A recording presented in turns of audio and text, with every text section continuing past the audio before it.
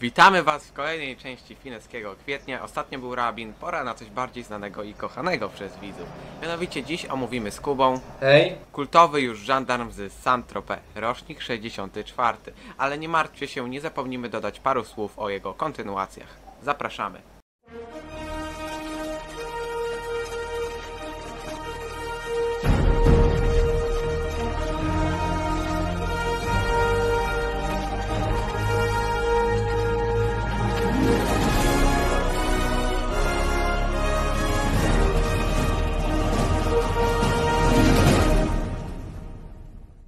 Więc teraz na wstępie powiem może parę słów na temat samego aktora, Louis Define, twórcy głównej roli w tym filmie.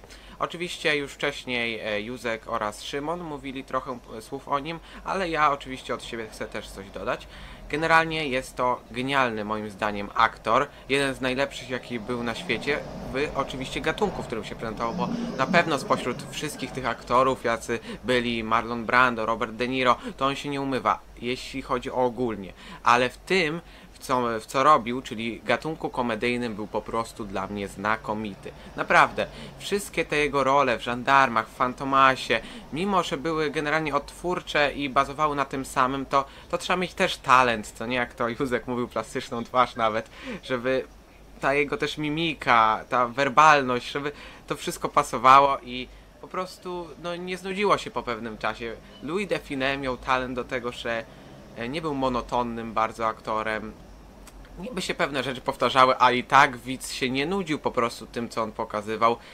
Moje generalne przeżycia z Louisem się zaczęły dość niedawno, ponieważ e, dużo osób, no, tym Kuba, czy Józek, czy Szymon nawet, to znali Lu- Define już wcześniej, a ja właśnie dopiero od niedawna, gdzieś od dwóch miesięcy zacząłem nadrabiać z nim filmy. Nie widziałem wcześniej żadnych żandarmów, może tam jakieś urywki, ale generalnie kompletnie nie kojarzyłem z nim filmów. Obecnie je dosyć mocno nadrabiam i już po pierwszych, czyli po żandarmach, od których zacząłem, już pokochałem tego aktora i sobie pomyślałem, Kuba, no musimy zrobić jakiś miesiąc tematyczny, jakieś materiały poświęcone Lujemu na kanale. No i oto jest, Fineski Kwiecień. Jak się przyjmie, mam nadzieję, że Wam się podoba. Jeśli tak, to oczywiście zostawcie łapki, ale to tam już swoją drogą. Co Kuba, Ty powiesz? Jakie Twoje były przeżycia z Define? No moje jest takie przeżycia, że tak jak odkąd dokładnie pamiętam, odkąd od dziecka tak naprawdę pamiętam, że moi rodzice oglądali filmy z Louis Define, więc no jednak w pewnym sensie wychowywałem się na filmach z Louis Define, zwłaszcza największe z żandarmami mam takie skojarzenia z wakacji, bo zawsze przeważnie leciały na telewizji publicznej, czy później na CBS Europa właśnie w wakacje, więc wakacje z Louis Define no brzmi ciekawie, a zwłaszcza ze żandarmami. I ja powiem Ci, uwielbiam Louis Define, dlatego że ja jestem oswojony z jego twórczością, e, a zwłaszcza żandarmami, których już naprawdę no, ze 100 razy oglądałem i pewnie będę jeszcze oglądał, więc no nie wiem co by jeszcze tu więcej rzec. Po prostu geniusz. Tak, to prawda, no. Tak jak już wspominaliśmy, Define w tym co robił był po prostu genialny, jeden z najlepszych aktorów w tym co robił. Przejdźmy może do samej produkcji. Żandarm Saint-Tropez, może krótkie przedstawienie fabuły. Oczywiście będzie to materiał ze spoilerami, to nie będzie oczywiście omówienie scena po scenie, bez przesady, ale oczywiście spoilery się pojawiają, więc jak ktoś nie widział, ale no myślę, że większość widziała, no bo to jest taki film, który często w telewizji na przykład leci, o czym mówił Kuba. Ale więc krótkie przedstawienie fabuły. Mamy piękną miejscowość na lazurowym wybrzeżu we Francji, Saint-Tropez, która słynie z ciepła, z plaży, z turystów i tak dalej. No wiadomo, sama miejscowość nie jest zbyt duża, po prostu słynie z turystów, dlatego tam często jest aż tyle ludzi, bo powierzchnio, powierzchnościowo jest to naprawdę mała miejscowość. No i co? E, przyjeżdża tam pewnego razu mm, taki inspektor, znaczy on się potem dopiero staje inspektorem, po prostu nazwijmy to żandarm o imieniu Ludwik, nazwisku Kryszot. Czyli postać grana przez Louis Define, główny bohater, który zostaje tam przeniesiony i przeprowadza się tam wraz z córką, gdzie będą pełnić e, obowiązki różne. Crisho zostanie tam właśnie inspektorem, no i tak będą się dziać tam tak kultowe rzeczy, jakie potem widzimy. Sama fabuła jest, wydaje się prosta. No mamy żandarmów i będą różne tam rzeczy. No generalnie e, akcja pierwszej części jest związana z aresztowaniem nudestów, którzy e, którzy panoszą się na plażach Santrop. Akcja się z tym wiąże, generalnie jest to zrobione moim zdaniem z jednej strony śmiesznie, no wiadomo, że to jest prześmiewczo, e, z drugiej strony no to co tam się dzieje, no, po prostu to jest genialny komiks, sytuacyjny, e, słowny i nawet postaci. No przecież ten nasz Kryszo jest po prostu przezabawny. Do czego potem jeszcze przejdziemy. Nie wiem, czy ty chcesz coś dodać na temat samej fabuły. Mm, Jeśli chodzi o to, to on z jakiejś tam prowincji, też fajnie zabawa tymi kolorami, to mówimy o latach 60., gdzie na początku prolog, te wprowadzenie do pierwszej części jest mamy w czarno-białym i wiemy tam, że tam Kryszo jest z jakiejś tam prowincji. A Saint-Tropez, no Saint-Tropez to jest taki jakby kurort turystyczny, mogłem tak dodać. To takie typowe miasto, jak mówiłeś, turystyczne, po prostu kurort turystyczny. Więc te jakby żandarmi troszeczkę mają z takimi cięższymi gabarytowymi przestępstwami mają oczywiście oj, no z teorii lżej, bardziej tu chodzi o książkowców, no i tych słynnych, legendarnych nudystów, kurde, i hipisów. Bo to w sumie jedno nie wyklucza drugiego. A jak mówiłeś o tym komizmie, tak, jest na pewno znakomity komizm. Postać Ludowika Kryszo to jest jedna z naprawdę charakterystycznych postaci w szablonie Louis Defina, ale także z całej historii kina, bo jest jednym z chyba najbardziej rozpoznawalnych policjantów w historii kina, ile dobrze mogę powiedzieć. Nie wiem, co by jeszcze tu rzec. No, powiedz, dokończ. No więc tak jak mówisz, jeden z najpopularniejszych takich policjantów w kinie, e, jak najbardziej się z tym zgodzę, tym bardziej, że jest on dość nietuzinkowym policjantem, no bo rzadko kiedy taki pojawiają się tak śmieszni aż policjanci, wiadomo, mieliśmy Ediego Murphy'ego, gliniarzu z Beverly Hills, mieliśmy e, Mela Gibsona w Zabójczej Broni w duecie z Danym Gloverem, ale mimo, że to były wszystko dość śmieszne e, postacie, to w gruncie rzeczy było to w powadze zrobione, no i przede wszystkim były to późniejsze lata i filmy amerykańskie. Ashley Shots był już w latach 60., bo właśnie, chciałem tutaj też nadmienić, dlaczego, bo można się tak zastanawiać, czemu zawsze przy e, Louis Define wymienia się za najpopularniejszego akurat e, ten film, czyli Gendarm z Saint-Tropez. Dlaczego to jest najbardziej znana rola Louis Define? Ja już śpieszę z odpowiedzią.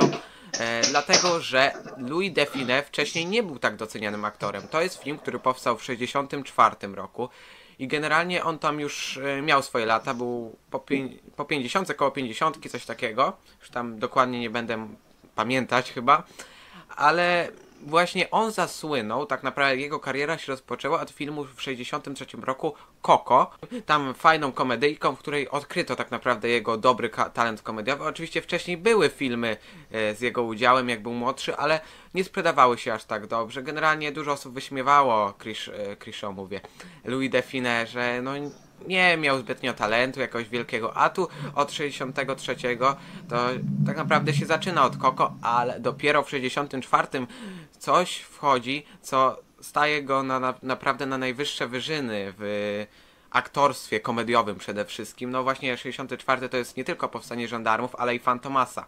I od razu po żandarmach z Saint-Tropez e, zaczyna się długa i świetna, no długa, tam paręnastoletnia, bo niestety do jego śmierci, czyli 82 bodajże, kariera Louis Define, która, no co tu by powiedzieć jeszcze, była bardzo owocna na pewno i żandarm właśnie się zaczął tym, on go wybił i na tym polega wielki sukces tego, bo wiadomo, że potem większość postaw była gagowana w kolejnych filmach, czy nawet tym Rabinie, ostatnim Oscarze, Kapuśniaczku i tak dalej, i tak dalej, w kolejnych żandarmach, ale to właśnie w Saint-Tropez, w żandarmie z Saint-Tropez oryginalnym z 64 to wszystko się zdarzyło i to zapoczątkowało wielką, wielką, no znaczącą na pewno karierę Louis Define, bo gdyby nie te filmy po 64, licząc z żandarmami, to na pewno nie zasłynąłby. Nie wiem, czy chcesz coś może dodać.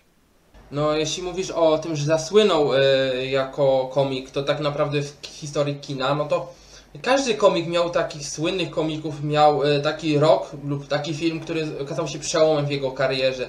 Mieliśmy tak z Jimem Carreyem i jego e, udanym 94 roku, kiedy wyszły naprawdę trzy genialne komedie z nim w roli głównej, czy Eddie Murphy, gdzie nieoczekiwana zmiana miejsc i 48 godzin z, z, tak zapoczątkowało jego piękną i udaną karierę jako komika. Każdy komik ma taki swój film, przełomowy film lub no, każdy aktor, bo też może być aktor, każdy ma aktor. Innym kariera po prostu od razu początkowuje od dziecka, niektórzy są już rozpoznawalni. Drudzy tak naprawdę od jakiegoś filmu przełomowego, który jest takim impulsem.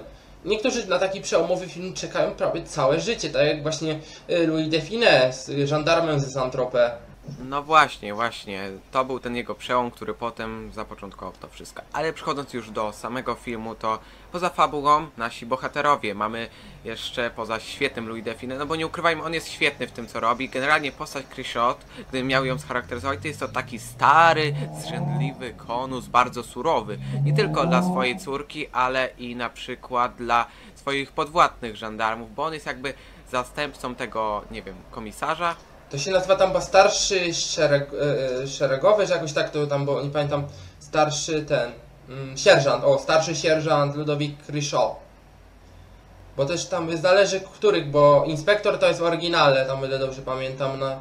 Właśnie, właśnie, no mamy jeszcze e, Michaela Gelebru, który świetnie się wpisuje w roli tego jakby głównego żandarma, no głównego w takim sensie, że jest wyższy rangą od e, Kryszot i generalnie, kurde, no te interakcje między tą dwójką, która potem się zresztą spotkała w na przykład Skąpcu jeszcze, no są na najwyższym poziomie, jeśli chodzi o komedię. Kurde, jak ten, e, ten właśnie, ten szef jego krzyczy cały czas Kryszo, Kryszo! To ja normalnie no, nie mogę ze śmiechu, nie wiem czy też tak miałeś.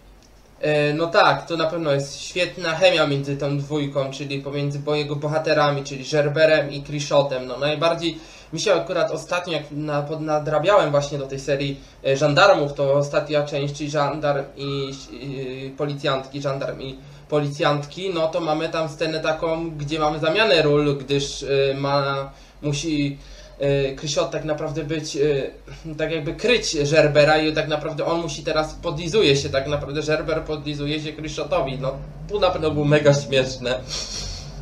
No, no, no generalnie komedie to jest też szczególnie dla mnie taki specyficzny gatunek i nie zawsze one działają, ale jakoś te z Duim Define tak nie kupują i tutaj warto zaznaczyć, że Gendarme Saint-Tropez to jest e, swego rodzaju oryginał do Akademii Policyjnej amerykańskich filmów, amerykańskiej serii, która miała praktycznie tyle samo części co Żandarmi, chyba 7 to o jedną więcej, bodajże 7, nie jestem tu pewien. Tak, tak, siedem, Ja wiem siedem. osobiście tylko jedną, dobrze. Więc generalnie e, no ta amerykańska wersja jest dużo słabsza mimo wszystko od żandarmów. Ona jest również śmieszna i tak dalej, ale jednak ta francuska oryginalna, no to mimo wszystko e, robi to coś, co sprawia, że jest to oryginał i zawsze się na to będzie przyjemniej patrzeć niż na swego rodzaju amerykański remake, prawda? Nie wiem, czy chcesz coś nawiązać jeszcze do Akademii Policyjnej. Akademia Policyjna, czy tak powiedzieć dosłownie kropka w kropkę, to jest taki remake, to tak ciężko to powiedzieć. Powiedziałbym, że Akademia Policyjna w niektórych aspektach na pewno inspirowała się żandarmami. To widać yy, w filmie, zwłaszcza weźmiemy na przykład słynne parady Saint-Tropez.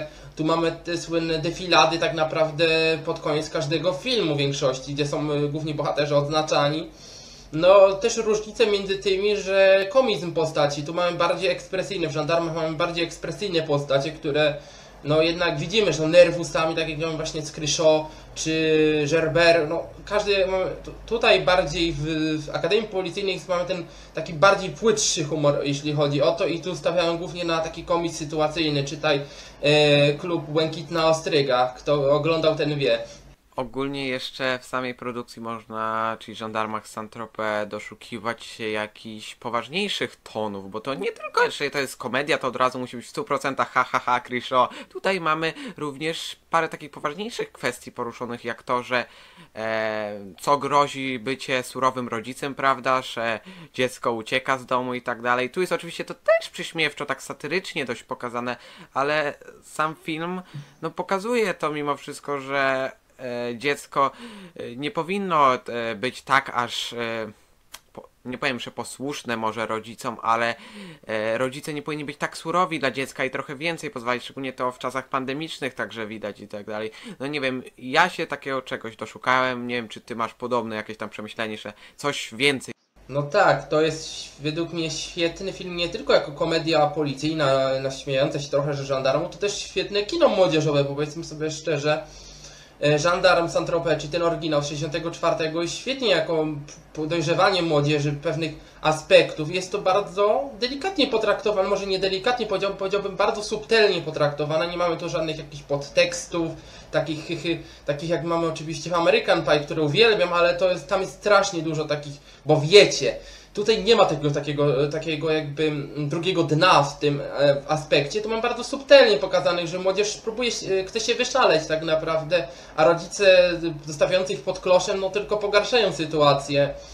I do czego tak naprawdę prowadzi kłamstwo, że kłamstwo tak naprawdę nie popłaca i to mamy właśnie w pierwszej części, czy też mamy troszeczkę tragedię oczywiście pokazaną Kryszo, który bądź co bądź, to jest ojciec samotnie wychowujący swoją córkę. On chce ją jak najlepiej wychować i wiemy, że on naprawdę chce dobrze dla niej, bo jednak y, uwierzmy sobie szczerze, y, mat, matka y, Nicole, a żona, pierwsza żona Crisho tak naprawdę zmarła prawdopodobnie przy porodzie albo po porodzie. Tak mamy to wspomniane w trzeciej części, kiedy podczas rozmowy z generałową Y, właśnie o tym wspomina. To oczywiście, ale jednak pokazuje mi tragedię, jak determinacją ojciec, y, żeby wychować ją na porządną osobę. Nie wiem, jak ty masz do tego odczucia.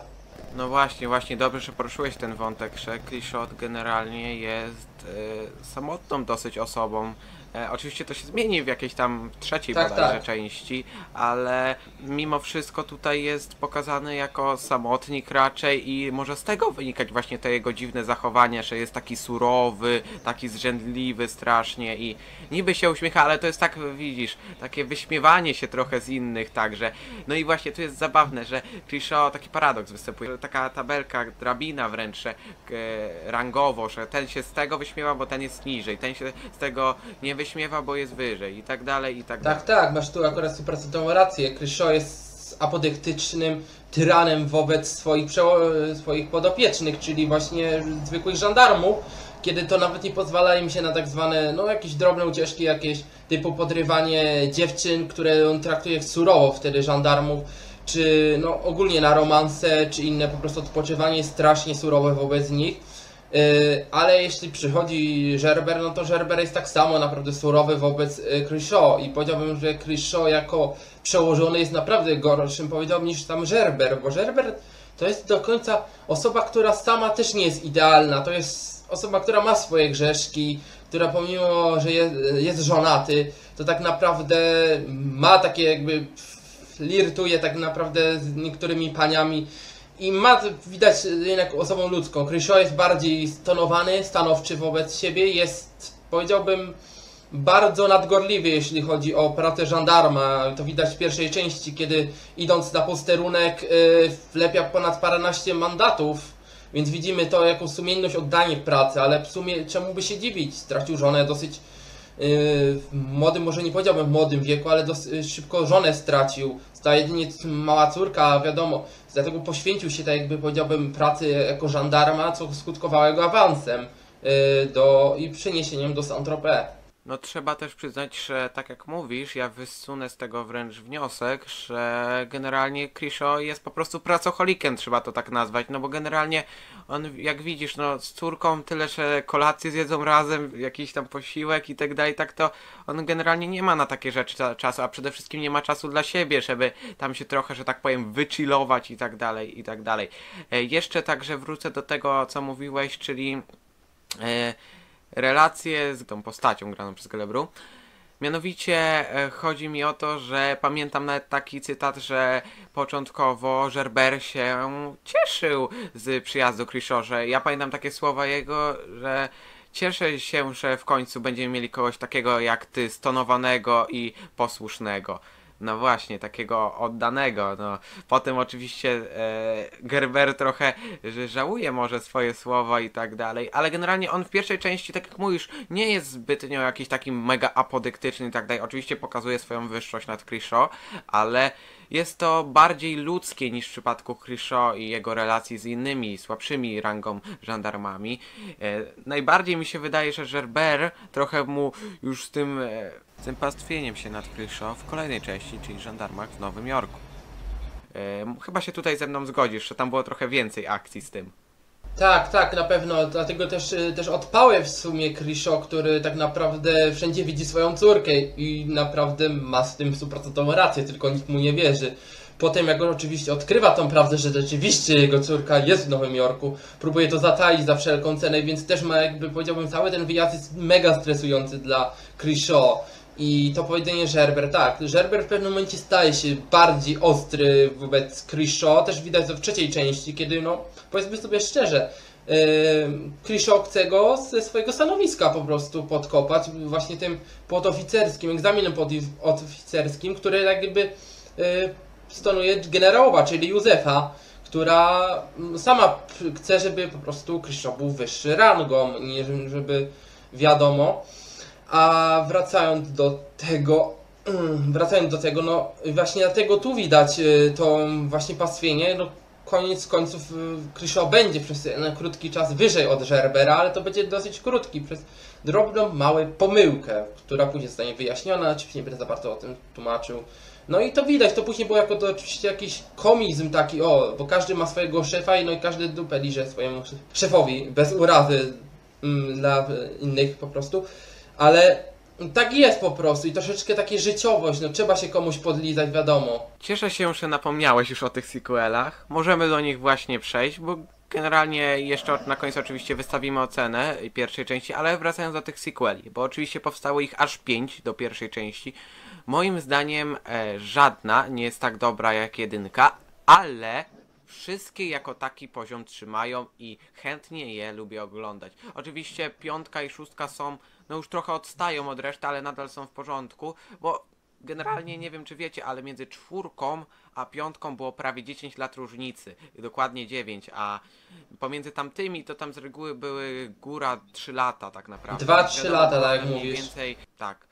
Były one, jak już mówię, regularnie robione i to widać na przykład po tym, że w piątce czy szóstce się parę, nie powiem, że najważniejszych postaci, ale tych niektórych, które mimo wszystko cieszyły oko, już nie wraca, bo tak to prawie e, cała reszta się pojawia w każdej z czterech części. No chyba poza Nicole, która z takich głównych to nie powraca w czwartej części. No i oczywiście w tych dalszych, piątce i szóstce.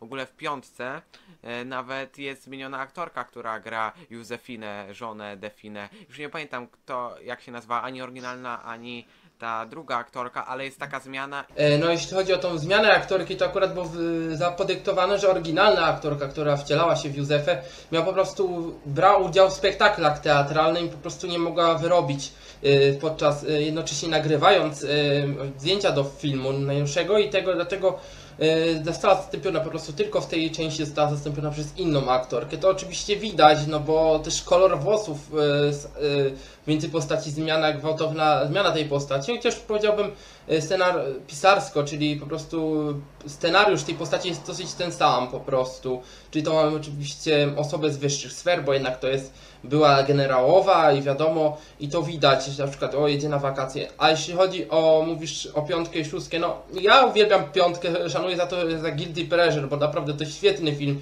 o kosmitach i powiedziałbym jeden z takich bardziej naśmieszkowych y, komedii, takich powiedziałbym, porównałbym je do Ghostbuster, Pogromców Duchów, czy Facetów z Czerni, no i to mamy prędzej, no zwłaszcza jak oni sikają wodą, no to jest takie troszkę podobne do Ghostbusters.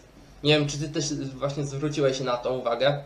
Jeśli chodzi o piątą część, czyli Żandarm i Kosmici, to zabawna sprawa w ogóle z tym filmem jest on na pewno tak już, to już jest taki odpał naprawdę, bo wcześniej no Nowy Jork e, się żeni na emeryturze, to generalnie to jeszcze miało jakiś tam sens. Już przychodzimy do tej piątki, ja oczywiście nie krytykuję tego filmu, ale już zamysł jest bardzo, ale to bardzo odważny i widać, że tu już idziemy w drogę science fiction, fantazy. Wiadomo, poprzednie części miały jakieś takie nierealne momenty, typu w trójce bodajże, jak on się e, próbował całować z Józefiną, to było takie dziwne e, dziwny prąd przechodził przez nich i tak dalej. No to wiadomo, to były takie rzeczy, które są nierealne, ale już w piątce, jak przechodzimy do żandarm i kosmici, no to naprawdę jest mocno, tym bardziej, że wygląd, wygląd, no ja, wygląd jest tych kosmitów praktycznie taki sam, bo mają e, jak człowieka oczywiście, bo mogą zmieniać kształt,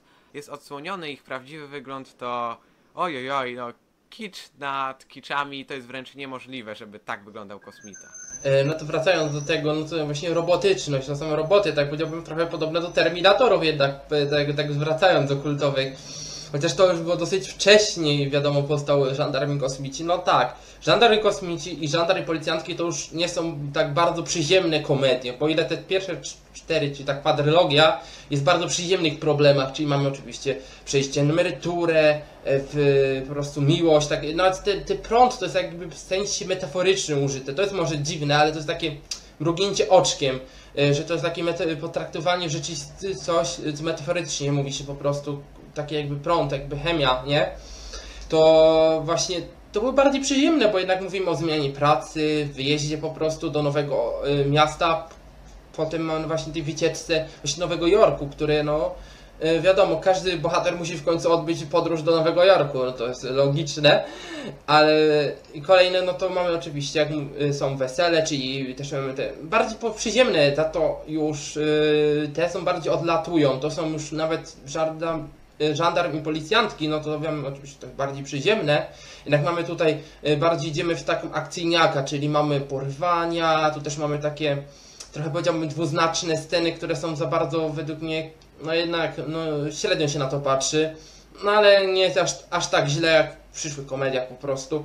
Ale tu widać już bawienie się inaczej tą formą, brak tej subtelności, to już mamy bardziej to na jakoś nacechowane. No ja tylko tak powiedziałbym, że piątka i szóstka już są tak sobie odbierane, ale widać średnio na Filmwebach no, mają e, tak przyzwoitą, bo jest to średnia 7,0. Jeszcze generalnie, jeśli chodzi o kosmitów, to mi się przypomniało, że generalnie wygląd, e, nie chodzi mi nawet o kosmitów, ale tego spotka ich, jest 100 razy gorszy niż kapuśniaczka, niż w kapuśniaczku wygląd tego spotka, który wyglądał naprawdę, nie powiem, że jakoś mega realistycznie, ale dużo realistyczniej niż ten z kosmitów. Wydawał mi się ten z kosmitów taki mega kiczowaty i no, no słabo to wyglądało pod względem efektów specjalnych. Oczywiście ten film nie napiera na to, żeby być jakimiś Avengersami czy innym. Czy Star Warsami, 1917, jak na tamte czasy.